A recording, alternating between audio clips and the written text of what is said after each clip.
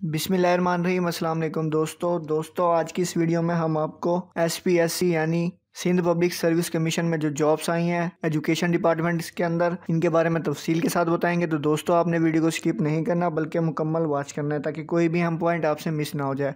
और अगर दोस्तों, आप हमारे चैनल पर नए हैं तो हमारे चैनल को कर लें सब्सक्राइब और साथ ही मौजूद बेल आइकन को प्रेस कर लें, ताकि आने वाली वीडियो की नोटिफिकेशन आपको सबसे पहले मिल सके। तो चलिए दोस्तों, ये वीडियो शुरू करते हैं।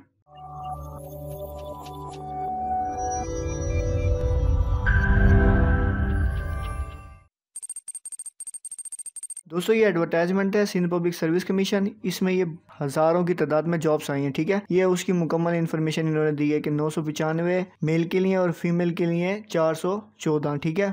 और ऐसे ये तमाम इन्फॉर्मेशन दी हुई है, ठीक है? उसके बाद दोस्तों फ़र्स्ट पोस्ट जो है, ये हेड मिनिस्टर की पोस्ट है और हेड मिनिस्ट्रेस की पोस्ट है। इसमें इन्होंने जो क्वालिफिकेशन मांगी है, ये मास्टर डिग्री मांगी है, ठीक है? सेकंड डिवीज़न के साथ, किसी भी हायर यूनिवर्सिटी से, ठीक है? उसके बाद दोस्तों, इसकी एज लिमिट की बात की जाए तो 21 से 30 साल है, ठीक है? उसके बाद दोस्तों नंबर दो पे है असिस्टेंट डायरेक्टर की पोस्ट इसमें open married male and female total post आठ है और फीमेल कोटा एक, ठीक है? क्वालिफिकेशन की बात की जाए तो मास्टर डिग्री मांगे सेकेंड डिवीज़न के साथ किसी भी यूनिवर्सिटी से, ठीक है? एज लिमिट की बात की जाए तो इक्कीस से पैंतीस साल है। उसके बाद दोस्तों, तीसरी पोस्ट है मेडिकल ऑफिसर की।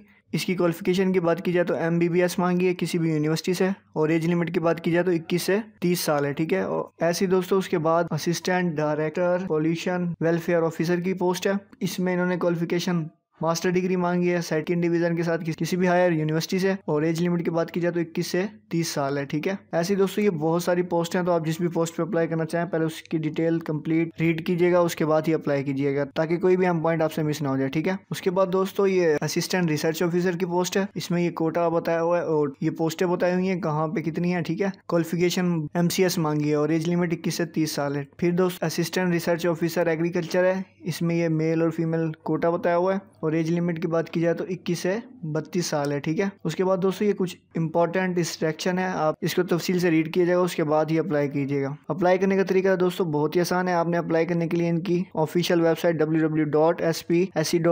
पी जाके ऑनलाइन अप्लाई करना है, ठीक है? और जो दोस्तों इसकी लास्ट डेट है वो पाँच मार्च दो हज़ार इक्कीस है, आपने उससे पहले अप्लाई करना है तो जितना जल्दी हो सके इस पर अप्लाई करें। दोस्तों इसकी अप्लाई करने का तरीका मैं आपको बता देता हूँ। दोस्तों, ये टॉप पे मैंने इनकी ऑफिशियल वेबसाइट को सर्च किया तो ये कुछ इस तरह से ओपन हो जाएगी। आप इसके फ्रंट पे देख सकते हैं अप्लाई नाउ का ये ऑप्शन मौजूद है, आप इस पर क्लिक करेंगे। दोस्तों, जैसे ही आप क्लिक करेंगे तो ये कुछ इस तरह से ओपन हो जाएगा। आप इधर अपना सी और पासवर्ड डाल के लॉग होंगे, अगर आपने पहले से आईडी बनाई हुई है। और अगर आपकी आईडी नहीं है तो ये क्रिएट अकाउंट के इस ऑप्शन पर क्लिक करेंगे। दोस्तों, ये फॉर्मेलिटीज़ हैं, आप इसे फिलअप करेंगे और उसके बाद रजिस्टर हो जाएँगे, ठीक है? इधर सी एन आई सी यहाँ मोबाइल नंबर यहाँ ई मेल यहाँ कन्फर्म ई मेल यहाँ पासवर्ड और यहाँ कन्फर्म पासवर्ड ठीक है? जैसे दोस्तों आप लॉग होंगे तो आपके सामने एप्लीकेशन फॉर्म शो हो जाएगा, आप उसे फिलअप करके अपनी अप्लाई कर सकते हैं, जिस भी पोस्ट पे अप्लाई करना चाहें। दोस्तों, ये इसके अप्लाई करने का तरीका था, और दोस्तों, याद रखिएगा, ये सिंध के अंदर पोस्ट हैं ये, और ये टोटल पोस्ट है, तकरीबन 1900 के करीब पोस्ट हैं। मेल फीमेल दोनों ही इस पे अप्लाई कर सकते हैं। तो आप जितना जल्दी हो सके अप्लाई करें, और तो इन वीडियोस को आप अपने फ्रेंड्स रिलेटिव वगैरह में शेयर किया करें, ताकि उनकी कोई बेनिफिट हो सके, ठीक है? तो दोस्तों लाइक और सब्सक्राइब लाजमी किया करें, ताकि मेरी भी हौसला अफजाई हो सके। उम्मीद है दोस्तों, आपको ये वीडियो पसंद आई होगी, और अगर आपको कोई भी बात समझ ना आए तो आप हमसे भी कमेंट के ज़रिए पूछ सकते हैं। इन हम आपको उसका जवाब ज़रूर देंगे। अल्लाह हाफिज़।